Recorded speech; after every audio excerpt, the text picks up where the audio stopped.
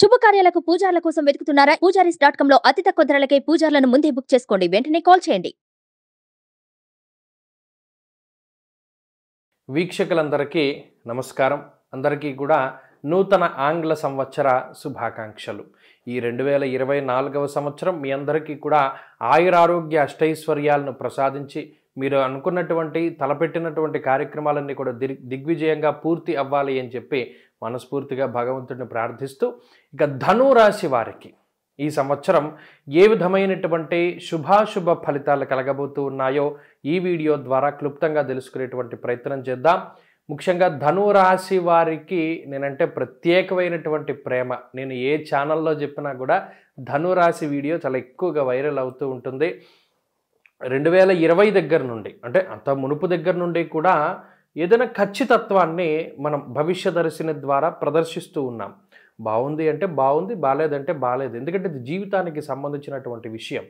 ఒకవేళ బాగుంది అంటే ఫైన్ అసలు మనం ముందుకు వెళ్ళిపోవచ్చు. బాగా లేకపోతే ఏ ఏ విధానాల్లో బాగా లేదు అనేటువంటి విషయాన్ని దృష్టిలో పెట్టుకుని ఆ కోణంలో దాన్ని తప్పించుకుని ముందుకు వెళ్ళాలి. అంతే శాస్త్రం.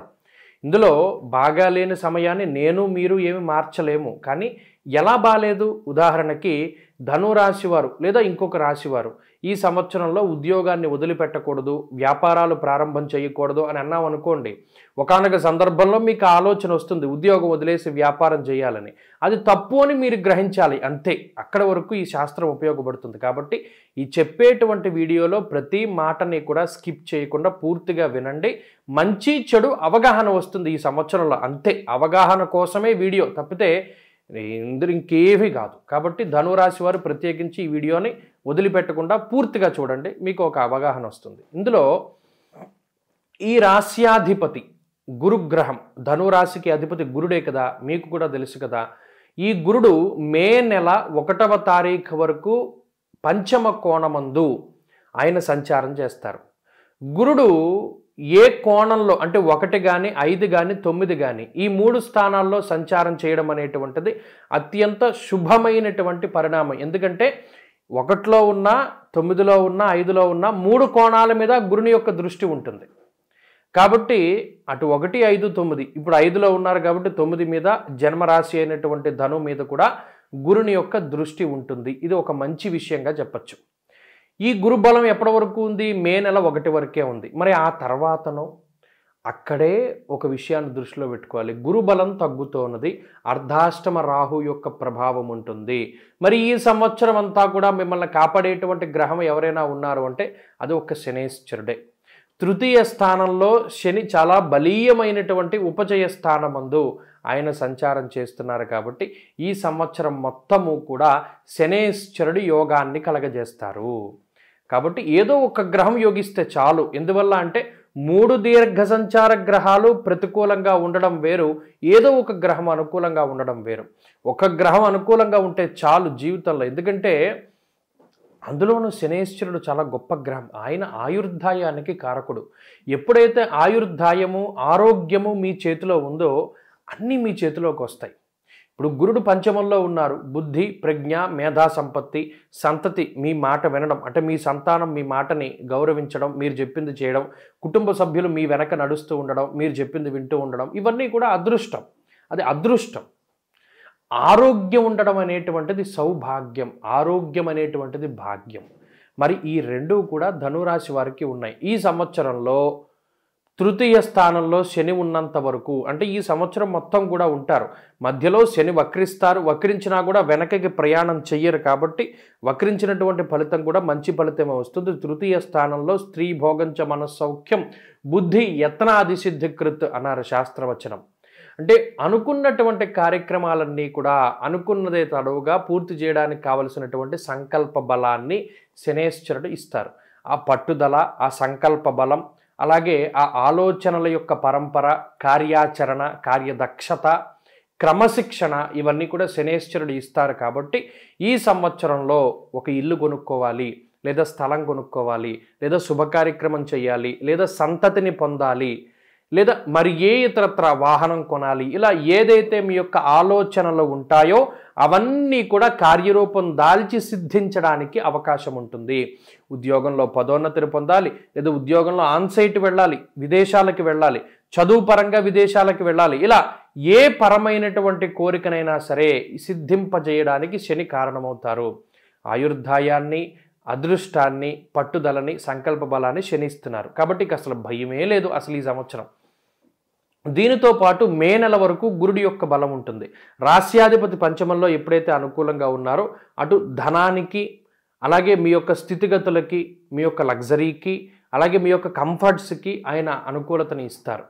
పంచమం పుత్రాన్ బుద్ధిం పూర్వపుణ్యం చ పుంసాం మంత్రాం నీతిం మానసం మంత్ర విద్యాం వీటన్నిటికీ పంచమం కీలకం. అంటే మీ మంత్రశక్తిని పెం పెంచుకోవడానికి దైవ బలాన్ని పెంచుకోవడానికి అదృష్టం కోసం సంతానం కోసం బుద్ధి వీటన్నిటికీ కారణమైన స్థానంలో గురుడు ఉన్నప్పుడు అర్ధలాభం తదైశ్వర్యం స్వకర్మ రతిహర్షితం అనుకున్నటువంటి పనులన్నీ కూడా పూర్తి అవుతాయి. మిమ్మల్ని నమ్ముకుని జీవనాన్ని సాగిస్తూ ఉన్నటువంటి వారందరూ కూడా ఆనందదాయకంగా ఉంటారు.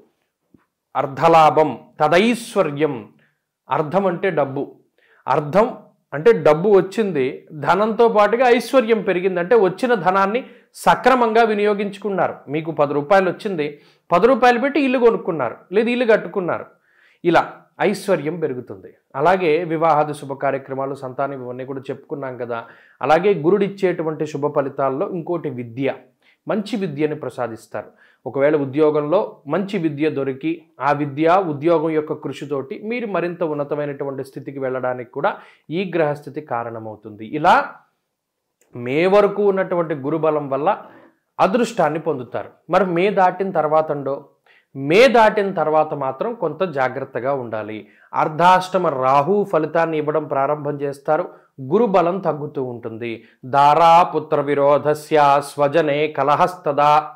మే నెల వరకు మీ వెన్నంటి నడిచినటువంటి కుటుంబ సభ్యులు పిల్లలు పరివారము పుత్రులు వీళ్ళందరూ కూడా ప్రతికూలం అవ్వడానికి అవకాశం ఉంటుంది.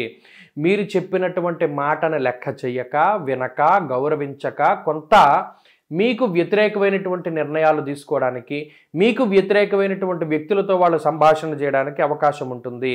కాబట్టి దానికి తగ్గినటువంటి ప్రణాళికల్ని సిద్ధం చేసుకోవాలి.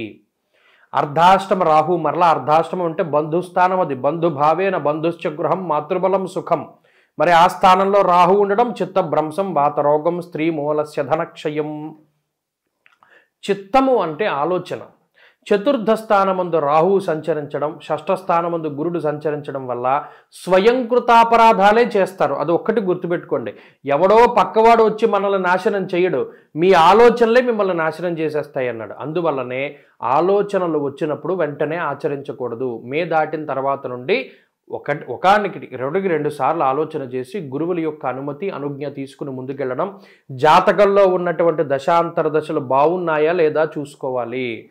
ఉద్యోగం మానేసి వ్యాపారం చేయకూడదు. లేదా వ్యాపారాన్ని విస్తరించడాలి లేదా ఇంకో వ్యాపారం ప్రారంభించడానికి వీటన్నిటికీ కూడా ఆలోచన అవసరము. వివాహాది శుభ కార్యక్రమాలు మీ పిల్లనిచ్చినా పిల్లాన్ని లేకపోతే ఇంకొకరితో వివాహం చేసినా ఏదైనా సరే జాగ్రత్తగా ఉండాలి. అప్పుడు మీ దగ్గర నుండి కుటుంబపరమైనటువంటి విషయాల పట్ల మాత్రమే జాగ్రత్తగా ఉండాలి. మిగతావన్నీ కూడా అత్యద్భుతంగా ఉన్నాయి. ఒక కుటుంబ విషయాలు అలాగే ప్రయాణాల విషయాలు మాత్రమే కొద్దిగా జాగ్రత్తగా చూసుకుంటే సరిపోతుంది. ఈ సంవత్సరం అంతా కూడా గురు శనుల యొక్క అనుకూలతతోటి ధను రాశి వారికి అత్యద్భుతమైనటువంటి స్థితి.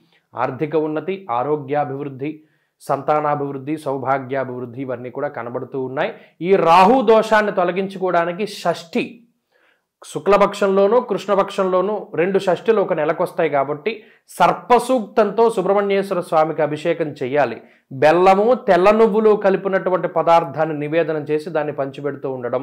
అలాగే సర్పసూక్తంతో సుబ్రహ్మణ్య స్వామికి అభిషేకం చేసిన అనంతరం మినుములు మినప్పప్పు వీటితో చేసినటువంటి పదార్థాన్ని దానం చేయడం లేదా మినుములను దానం చేయడం ద్వారా రాహు ఇచ్చేటువంటి ప్రతికూల ఫలితాలు తగ్గుముఖం పడతాయి.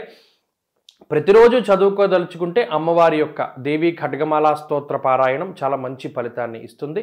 చక్కగా ఏదైనా ఒక కుంకుమని చేతితో ధరి చేతితో ఇలా పట్టుకుని ఈ దేవి ఖడ్గమాల స్తోత్రాన్ని చదువుకుని అప్పుడు చదివిన తర్వాత ఆ బొట్టు పెట్టుకోండి. మంచి ఫలితాన్ని సాధించగలుగుతారు.